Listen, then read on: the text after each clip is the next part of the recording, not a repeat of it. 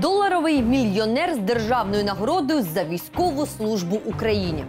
Його історія це вирок системі СБУ до воєнних часів і приклад того, як хапух при погонах росіяни вербували ще до початку навіть гібридної агресії на сході нашої країни. Ватажок терористів у Луганщині Леонід Пасічник, життєве кредо якого можна вкласти в одну фразу. Путь к нашему сердцу один только через день. Серед своїх Леонід Пасічник більш відомий як Льоня Магадан. Його батьки понад два десятки років пропрацювали на копальнях. Їх син закінчив кузню кадрів спецслужб Донецьке військово-політичне училище. І у 93-му році на зорі незалежності України почав працювати в СБУ.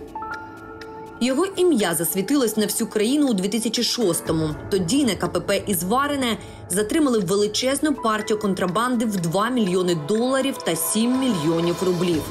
Служба подавала пасічника як героя, який відмовився від хабаря і викрив злочинців. За півроку СБУшник отримав держнагороду з рук самого президента Ющенка. Але насправді вся ця операція була просто ширмою ФСБ для подальшого просування пасічника кар'єрними сходами. Адже той, хто контролював усі шляхи контрабанди, не міг вкусити себе за хвоста.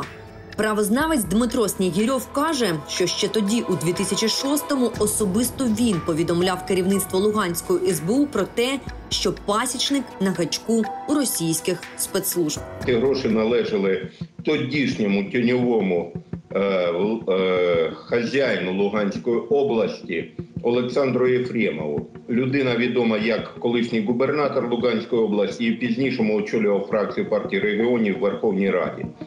Е, Варто говорити про те, що потім рішенням суду ці гроші, які, начебто, пасічник героїчно вилучав під час е, проведення операції, були повернуті безпосередньо власнику Єфремову. Тобто мовиться про те, що фактично гроші взяли на певний час для проведення спецоперації і потім повернули власнику рішенням вже українського суду. А відповідно в українській спецслужбах була створена ситуація просунення по кар'єрних сходах людини, яка була афільована з російськими спецслужбами. Власне, недарма згодом, нібито чесного та принципового СБУшника перевели працювати саме у Стаханів на посаду керівника міжрайонного відділу СБУ. Стаханів фактично колиска сепаратизму, причому збройного сепаратизму на території Луганської області. Достатньо згадати, що саме зі Стаханова вийшли такі досить одіозні персонажі, як Дрьомов, Карякін та інші. Тобто ті люди, які стояли у витоків створення так званої ЛНР і у витоків е, руської весни на території Луганської області. Потім ці персонажі, і Карякін, і е, Дрьомов, і Репке, вони приймали безпосередню участь і в захопленні будівлі Служби безпеки України, відповідно створення е, так званої власне народної армії е, ЛНР. Вир російської весни винес Леоніда Пасічника на посаду так званого міністра держбезпеки ЛНР. І вже тут він отримав небачену донині владу над контрабандними шляхами. Саме пасічник контролював все, що незаконно йшло з України в квазіреспубліку або далі до Росії та навпаки. За кілька років на посаді головного МДБшника він збільшив свої статки, і це дуже скромні цифри до 40 мільйонів доларів. На підприємствах формування ЛНР крутили контрафактні цигарки, розливали алкоголь. Жоден кілограм вугілля з колишніх українських шахт та незаконних копанок не проходив повз пасічника, так само як і наркотики, паливно-мастильні матеріали та навіть золото. небезпека, скажімо так, е, цього трафіку. Бо знов таки, крім ювелірних виробів е, золота низької якості, вони виробляли банківські злитки, причому у них були тавра е, українські, які дозволяли знов таки перекидати на територію України ці банківські золото банківських злитків дуже низької якості. Йшлося про те, що фактично підривається економіка України. Цікаво, що поки Леонід Пасічник багатів, його попередники на посаді очільника так званої ЛНР змагались за владу в регіоні, але з різним успіхом. Першого знайшли повішеним, другого отруєним, а третього плотницького після невдалих замахів офіційно скинув з трону власне пасічник. Для цього він об'єднався у 2017 році з головним міліціонером квазіреспубліки Ігорем Корнетом. Що цікаво, силовий блок в підсумку звинуватив Плотницького ледь не в роботі на СБУ. А його колишні підлеглі, так звані бойовики батальйону Зоря, стали зізнаватись у тому, що це саме вони обстрілювали мирних на Луганщині. Потом впоследствии узнавал, что происходили обстрелы школ, базара, больниц.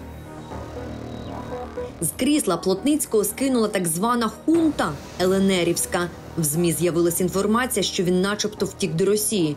Проте не виключено, що він десь прикопаний на Луганщині, бо більше Плотницького живим не бачили. Місцеві зробили вигляд, що нічого не трапилось, і радо вітали нового голову. Я ему верю, и наши люди тоже верят. Мы прям обожаем его и, и будем, не знаю, прямо кланяться ему много и Богу. Он справедлив. Чому ФСБ одразу не посадила Леоніда Пасічника у крісло керівника захопленого регіону? Навіщо він чекав на свій зірковий час кілька років? Експерти говорять, що в Україні росіяни діяли за абхазьким сценарієм. була імітація проведення виборів на територіях цих анклавів. Ставала цивільна особа, яка створювала вертикаль підпорядкування, тобто ну, повністю державний е, механізм. А потім, внаслідок на е, корупційних схем, він усувався більш, начебто, принциповим е, міністром держбезпеки. Тобто, ця ситуація була відкатана Сурковим і в Абхазії, і Осетії, коли замість е, законно, так би мовити, обраних народних лідерів. Їх по місця зайняли представники спецслужб самопроголошених анклавів. Е, Причому всі ці співробітники мали сталі зв'язки з російськими спецслужбами. Ще раз, е, е, їм потрібна була легітимність. Він усіх пережив і добрався до Кремля. Сижу уже второй день, уже все бока болят, жопа болит, уже забодался лежать.